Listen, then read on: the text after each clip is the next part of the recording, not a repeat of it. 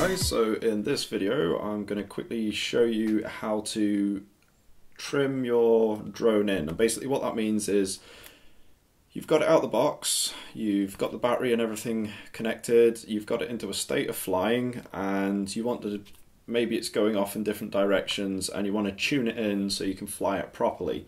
Um, this will cover the 1.0 drone all the way through to the 3.0 that's coming out 1st of May on Indiegogo from extremeflyers.co.uk.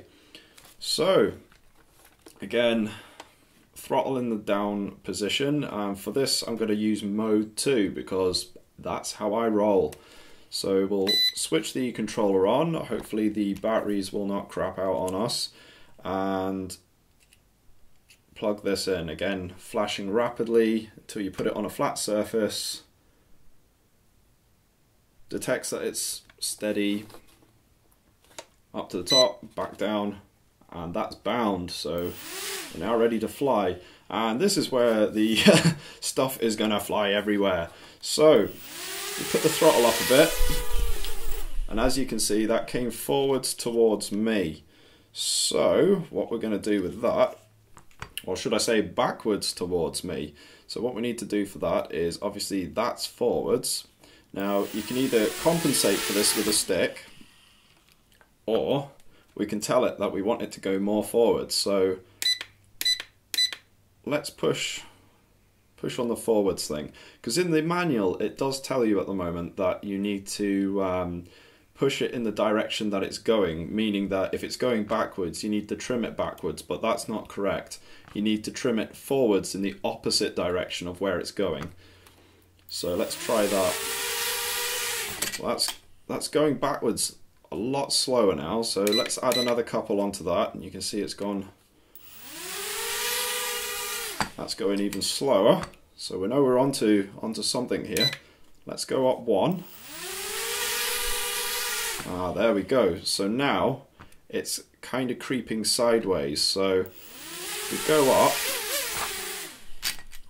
What I did there was press sideways on this to show you the rotation. So this this stick here does left and right. Yep. So what we need to do is, because it's going that way, need to push to the left on this, and we'll just do a couple of uh, couple of pushes on that one. Oh, that's looking a lot more stable now. And as you adjust these things, it may start shifting around how it handles, you know, so it may start going backwards again, but this is all to do with the tuning process. We're going to keep keep on with this. Oh, look at that. It's a lot better. So it's coming back slightly, so we'll put another one on there. Ooh, we've almost got that hovering. So we'll put another one here and another one forwards. Oh, look at that. And I think the only disruption that we've got now is because um, the drone is blowing a lot of air onto the uh, onto the top here. So as that comes back up, it's creating turbulence, and the microprocessor in there is trying to calibrate for it. So I think that's pretty much tuned in, ready to rock. As you can see, it's incredibly stable now. So.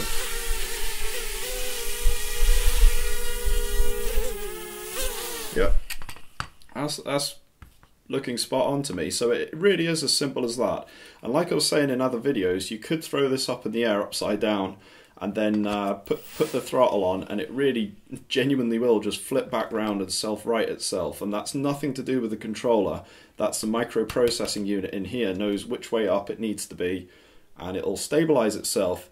So I hope that's helped you guys out and basically check out my other videos and subscribe.